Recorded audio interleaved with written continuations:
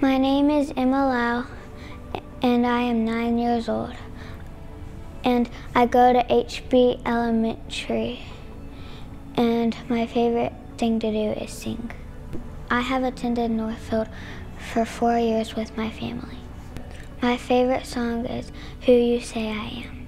What I love most about um, Northfield is going to church camp. My favorite thing to do at church camp is to do zip lining.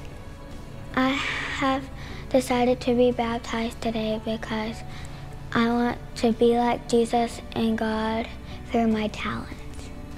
I'm thankful for my mom for helping me along this way. Again, my name is Emma.